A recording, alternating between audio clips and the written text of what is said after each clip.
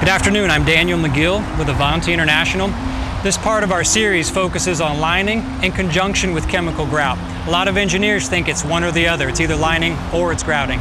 In reality, many contractors use both. In order to put a new liner in, they need to stop water from coming in a leaking joint, otherwise they can have resin washout. They'll get a bubble in their liner, which down the road is going to cause a blockage in the system. They're decreasing the capacity of the pipe. Also, after they put the liner in, they're going to go in and cut a hole in that new liner. If there's water traveling in the annular space between the host pipe and the new liner, it comes right back into the system. So they need to grout that lateral connection. Let's take a quick look at a brief animation of how the process works, sealing the lateral connection to the main line after a liner has been put in.